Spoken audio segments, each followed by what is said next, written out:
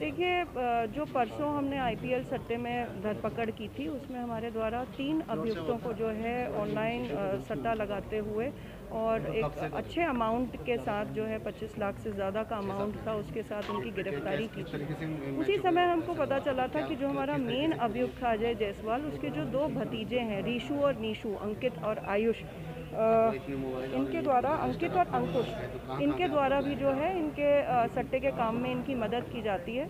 और ये जो है, थोड़े ज़्यादा हाईटेक और प्रोफेशनल हैं और इनके जो क्लाइंट्स हैं, वो दिल्ली तक भी जो हैं दिल्ली में भी रहते हैं। और ये जो सट्टा लगाते हैं, ये दिल्ली के भी क्लाइंट्स हैं। यहीं पे रहते हुए ये दिल्ली के क्लाइंट्स को भी ओबलाइज करते हैं, दिल्ली के क्लाइंट्स का भी पैसा लगाते हैं। इस सूचना पे हमारे द्वारा जो एक टीम है एसओ क्लेमेंट टाउन के नेतृत्व में, इसे उसी समय जो है दिल्ली के लिए रवाना किया गया, क्योंकि यह जानकारी हुई कि इन्होंने लाजपत नगर में एक फ्लैट जो है वो किराए पे लेकर रखा हुआ था।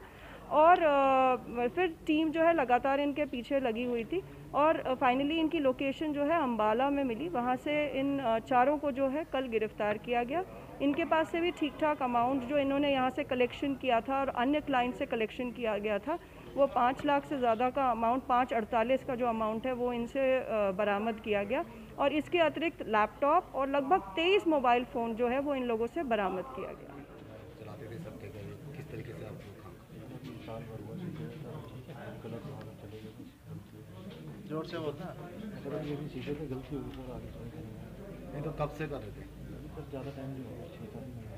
छः सात महीने क्या कैस किस तरीके से मैचों पे पैसे लगवाते थे? क्या, क्या किस तरीके से पूरी ये काम तो अगर हम भी सीख ही रहे हैं है आपका इतने मोबाइल और ये पूरा रजिस्टर आपने बना रखा है तो कहाँ कहाँ के आपके क्लाइंट